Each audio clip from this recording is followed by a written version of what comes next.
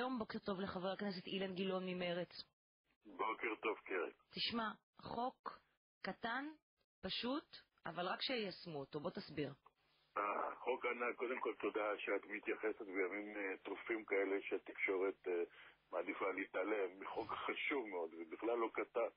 אני חושב שכתבנו קוד אתי לגבי כל תקנות נגישות לשירות. נדמה לי שחוץ מאשר נשק ובתי מורים נניח, הפכנו כל אבן. ממקוואות ועד ברים שכל אדם למעשה יוכל להגיע לשם על פי אפשרויותיו ועל פי מוגבלויותיו וכל העניין של הנגישות הוא בסך הכל איזשהו קוד אתי של חברה שרוצה לאפשר לכל בן אדם מן המקום שבו הוא נמצא להגיע בצורה עצמאית ומכובדת לכל מקום ולחוות את עיקר חוויית החיים. חוזרת בי מהגדרה קטן, מקבלת לחלוטין. חוק גדול וענק, צודק, צודק, ובעיקר איך זה לא היה קודם. בוא נפרט. קודם כל את העניין הזה של התור, כי העניין של התור זה גם לא עולה כסף.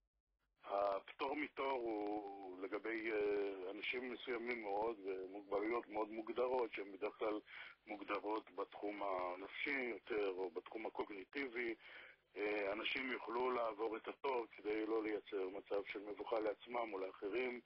אה, אני מדבר בכלל על תסמונות שהן בתחום האוטיזם ופורט, דברים אחרים. בבנקים, בביטוח הלאומי, בקופה בסופרמרקט? בכל מקום, למעשה, תראי, הרעיון של הנגישות הוא בכל מקום. לא, אבל אני מדברת ספציפית רגע על העניין של הפטור מתור, כי חלק ממטרת השיחה זה גם להביא למודעות, שאנשים ידעו. ואדם עם הצגת תעודת נכה תקפה, הוא פטור מלעמוד בתור, נכון? נכון. היא אוקיי. מוצגת למי שממוען אה, לטפל בנושא הזה, לא לכל התור כמובן, ואז יש הקלה ומעבירים אותו טוב. אני אומר שוב, תופסים את זה בעיקר משום שזה הדבר היותר אה, בולט, אבל זו קבוצה מאוד קטנה שפטורה מתור. הנגישות הרצינית ביותר היא דווקא למקומות הבילוי, לבתי המשפט, לכל מקום בעצם שנותן שירות, גם בתחום הקל, גם בתחום הקשה, שמי שניהל על ה... מי שניצח על כל העניין הזה זה הייתה ועדת העבודה והרווחה, ועדת המשנה, יחד עם הנציבות לשוויון וכל הגורמים האחרים שהם משרדי ממשלה מצד אחד וגורמים פרטיים מצד שני, וכל כולם חשבו מין מחשבה כזאת של סנדלרים איך מאפשרים לכל אדם להגיע כמה שיותר טוב. אז התור, פטור מתור הוא רק דבר אחד. אבל למשל, אם את רוצה, אדם בא בעגלת נכים נניח ורוצה לדפוק צ'ייסטר, מה שנקרא, בפאב, תהיה לו יכולת, תהיה לו שולחן מתאים לנושא הזה. כשאתה ניגש אל הפקיד לבנק, העומק של השולחן שאתה יכול לשבת, ולא רק בתחום הזה, גם בתחום שמע או בתחום אה, ראייה, בתחומים של המוגבלות החושית, תראי, קרן, אין, אין דבר כזה אנשים מוגבלים ובלתי מוגבלים. כולנו או מוגבלים או נשאי מוגבלות. זה בטח בחברה שאנשים בה מתבגרים, ולכן אני אגיד לך שהנגישות היא בעצם דבר פוסט-סוציאליסט, הייתי אומר, זה סוציאליזם אורתופדי.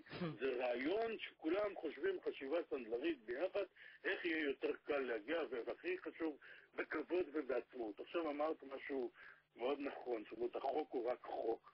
את החוק שאנשים יהיו בני אדם, אני לא, לא אף, אף פרלמנט לא יכול לחוקק אותו. נכון. את זה צריך להפנים, את זה צריך לחנך. נגישות היא ערך, היא ערך חשוב ביותר, זאת שיטת עבודה, זאת שפה, ובשפה הזו אנחנו רוצים לדבר. נגישות לשפה זה דבר מאוד מאוד מיידי, ואגב, נגישות לשפה, אנחנו כולנו זקוקים לזה, אנחנו בכלל חברה ש-80% מתוכה לא מבינים על מה מדובר, ו-20% האחרים הם עורכי דין שמפרשים להם את השפה. הדברים האלה יכולים להיות אחרת לגמרי, אנחנו יכולים להקל על כולנו. איך הפרקטיקה הזאת, איך זה, נניח דבר שהוא באמת, הוא מופלא, במקומות שיש בהם כריזה קולית, יישלח מסרון אס.אם.אס לאדם עם מוגבלות שנייה. איך כל הדברים האלה עכשיו יקרו, וחלק מהם זה עניין של תקציב. זה, זה קורה רק במקומות ציבוריים, זה קורה גם במקומות פרטיים, מי צריך אה, לממן את זה? אם זה לא קורה, מי אוכף את זה?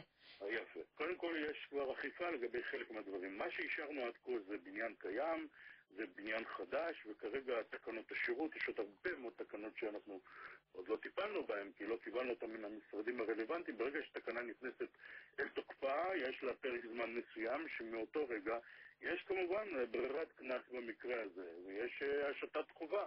עכשיו, אנחנו מחלקים את הנגישות לגבי המוסדות שהם מוסדות ציבור, והמוסדות הציבור במדינת ישראל עד 2018 יצטרכו להשלים את כל הנגישות שלהם, להם אין פטור בגלל נטל כבד למשל, אבל עסקים אה, פרטיים קטנים יותר, שלמשל הנטל של הנגישות יכול לגרום לכך, נניח במספרה קטנה שתצטרך להיסגר כי לא תוכל להתקיים, יש פטור במקרה הזה. ולגבי הרשויות המקומיות, שהן הכי מאוחרות, זה עד 2021, הכל יצטרך להיות מונגש ברציפות מוחלטת בשלושת התחומים של המוגבלויות, כן? גם המוגבלות הפיזית, גם המוגבלות החושית וגם הקוגניטיבית, בכולם גם יחד. זאת אומרת, זה בעצם ללכת ולרפד את מדינת ישראל כסוגיה או כמדרש בתוכנן שכל אחד יכול ללכת. אני מתפלא על עצמי שאני אגיד לך את המשפט הבא, אבל אני הבטחתי אם אני אוכל להמשיך בו כמובן בתחום הזה, כי אני מתחייב להמשיך בו, שעד 2018 ישראל תהפוך לאמריקה, אבל רק בתחום הזה כמובן, לא בתחום זהו, כי אמריקה היא מודל מדהים בעניין הזה. אמריקה, אתה נכנס למקום אה, ציבורי, יש שם מישהו שמדבר בשפת הסימנים לחרשים, תהיה שם הנגשה מוחלטת לכל אה, אה, בעיה אפשרית. אבל איך הם הצליחו להגיע לזה? אילן, איך הם הצליחו להגיע לזה? איך הם הצליחו להגיע לזה? כי זה שפה של חברה. זאת אומרת, הם אנשים שהקומפורט הוא מאוד, הנוחות היא מאוד חשובה להם, העצמאות היא מאוד חשובה להם, ובניגוד באמת לחברה שהיא די מנוכרת לאנשיה, בגדול קרה כאן, אני חושב שזה משהו אבנורמלי בחשיבה האמריקאית, אבל כאן זה יכול להיות... אני אגיד לך מה, מה יש בו, מה יש כאן, זה, זה, ההנגשה הזאת באמת מאפשרת לכל אחד להיות אה, בעל זכויות, כן? אה, אה, בעצם שוות. זאת אומרת, להגיע לכל מקום.